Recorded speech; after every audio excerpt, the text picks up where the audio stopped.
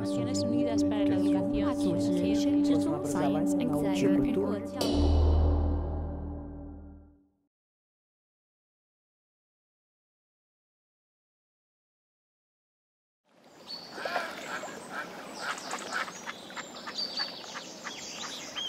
For thousands of years, the traces of the people that lived on the lakes of the Prealps in the Neolithic and Bronze Age periods remained invisible. It wasn't until the mid 19th century that unusually low water levels in the lakes uncovered them. Archaeologists recognized the pile dwellings and their significance. The discoveries attracted the attention of researchers worldwide. In those days, it was thought that the pile dwellings stood far out in the lake on large platforms. We now know that this idea appealed to the Romantic movement of the time.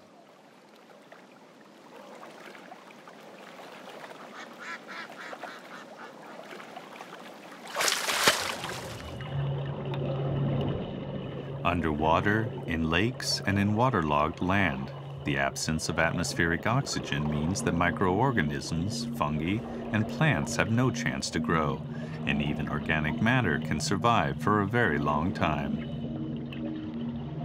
The oldest textiles in Europe come from pile dwellings. Wooden vessels, bone implements, and complete tools provide various fascinating insights into the everyday life of a bygone era.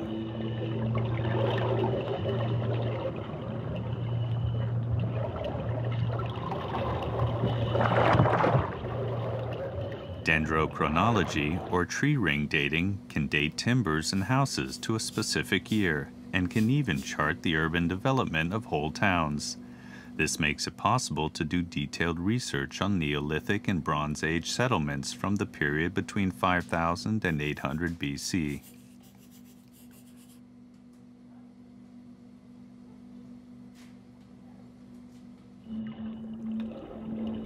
The World Heritage prehistoric pile dwellings around the Alps includes a selection of 111 of around 1,000 known archaeological pile dwelling sites in six countries.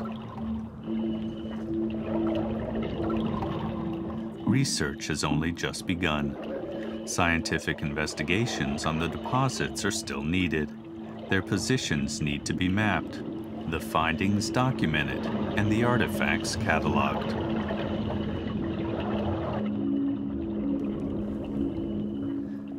Participants from the various countries are working closely to investigate the pile dwellings and to protect them.